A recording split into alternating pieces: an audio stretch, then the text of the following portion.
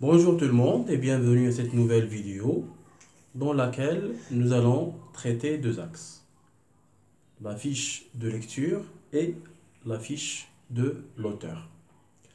Ces deux axes s'inscrivent bien sûr dans le cadre du premier module, la boîte à merveille d'Ahmed Sefri. Alors nous allons commencer par la fiche de l'auteur, qui est Ahmed Sefri.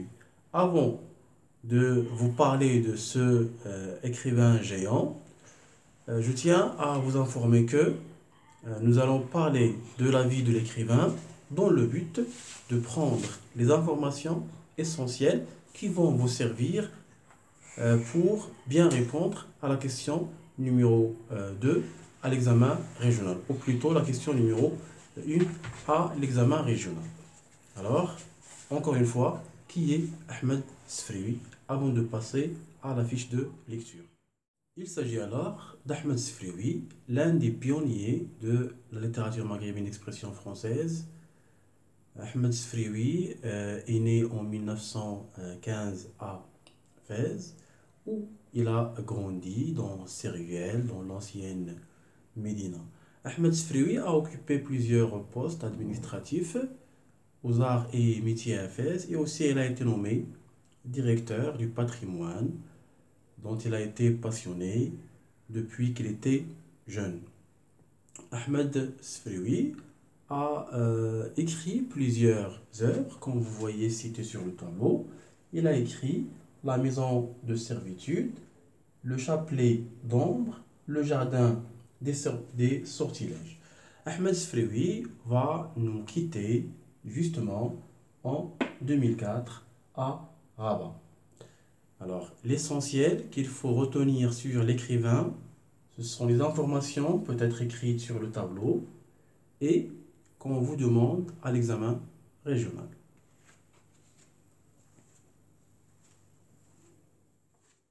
Parler de la vie de l'auteur, la biographie de l'auteur. Nous allons maintenant parler brièvement de la fiche de lecture. Alors, il s'agit de l'écrivain Ahmed Sfriwi, qui a écrit La boîte à merveilles exactement en 1952. L'écrivain va publier ce roman autobiographique en 1954. En ce qui concerne la date réelle des événements, alors c'est 1921. Ça veut dire si la date où les événements ont eu lieu réellement. Le siècle, c'est le 20e siècle, et le type, c'est un roman autobiographique, tout simplement parce que l'auteur, ce n'est plus exactement le narrateur. Je tiens à vous signaler ici que l'auteur, c'est Ahmed Sefriwi, mais le narrateur, c'est euh, Sidi Mohamed. Alors il y a une petite différence entre l'auteur et au niveau de le, narrateur au niveau bien sûr du, du nom. Mais en réalité bien sûr il s'agit de la même personne. Le narrateur dans ce roman c'est euh, Sidi Mohamed. C'est un petit garçon de 6 ans qui va nous raconter son histoire.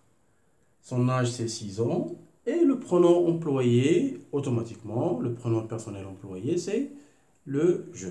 Et bien sûr, nous allons trouver d'autres pronoms qui remplacent ou qui renvoient à ce narrateur, comme le me, comme le mon, les adjectifs positifs.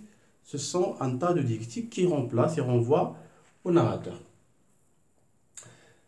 Qu'est-ce qui caractérise ce narrateur? Ce narrateur, Sidi Mohamed, est caractérisé par la solitude et le rêve. C'est quelqu'un qui a un penchant vers le rêve.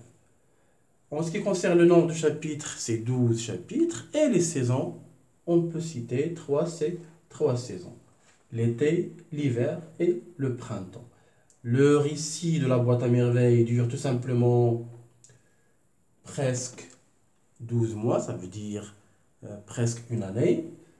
La ville du récit, bien sûr, c'est Fès. Et le genre de la littérature maghrébine, c'est la littérature maghrébine d'expression française. Les déclencheurs du récit, ça veut dire les facteurs que poussent Mohamed à réfléchir, à être seul, à euh, être dans un, dans un tel état, c'est la nuit et la solitude. En ce qui concerne la relation avec Zineb, c'était une encore dans le cadre de la fiche de lecture, la focalisation adoptée. Le point de vue adopté dans ce roman, le point de vue qui domine, c'est le point de vue interne. Pourquoi interne? Parce que le narrateur, c'est un personnage parmi les personnages. Le narrateur exprime sa, sa subjectivité en général. Il exprime ses sentiments, euh, ses points de vue, ses jugements. Par exemple, euh, ses points de vue euh, face à, au comportement enfantin de Zineb, les sentiments comme le sentiment de la peur au bain, le sentiment de la peur pendant la dispute de, du, de son père et du etc. Et aussi, le narrateur s'exprime à travers le jeu. En ce qui concerne le registre de langue employée, c'est un registre courant. Vous allez trouver l'imparfait, le présent, le passé simple dans la boîte à merveille. Ce sont les temps qui dominent. La description est souvent dynamique. Le narrateur ne décrit pas tout simplement ou stablement un lieu, mais il se déplace en décrivant les, les lieux. Les champs lexicaux qu'on peut rencontrer, qu'on peut trouver dans le roman, c'est la magie, l'impureté, par exemple dans le bain, le désespoir quand il voulait attraper le moineau, l'horreur, etc. Les thèmes, il y en a deux. Il y a la famille et la solitude. En ce qui concerne le nom du père et de la mère, il s'agit alors, son père s'appelle Abdeslam, c'est un tisserand, et sa mère, c'est une femme de foyer, elle s'appelle Zubida. Les lieux décrits, il y en a plusieurs, par exemple Dar Wafa, où habitait Sidi Mohamed, c'est une maison qui se constitue alors de trois étages, de deux étages et un rez-de-chaussée. Le Msid où Sidi Mohamed a eu son enseignement préscolaire. Le bain mort où Sidi Mohamed a vécu de moments pénibles. Et les ruelles où Sidi Mohamed a joué, a essayé d'attraper le moineau. La maison de la Laïcha, Sidi Mohamed a, euh, avait euh, des occasions de visiter la Laïcha en compagnie avec sa mère. La Qisariya, c'est le lieu où Sidi Mohamed va acheter les vêtements à l'occasion de Ashura. Le souk des bijoutiers, euh, c'est un lieu euh, qui reflète en quelque sorte un événement malheureux pour Sidi Mohamed parce que le père s'est euh, disputé dans ce lieu avec le Dlal. Finissons alors par le symbolisme de la boîte à merveille ou la boîte. la boîte à merveille a A de rôle. Le premier rôle, il permet au narrateur de s'évader de la réalité, de s'échapper de la réalité, et aussi il va lui permettre de se sentir moins seul. Voilà, c'est euh, ce qui concerne la fiche de lecture de manière brève et simple. La prochaine vidéo, Inch'Allah, nous allons faire l'étude des personnages. Merci pour votre attention et à une autre vidéo, Inch'Allah.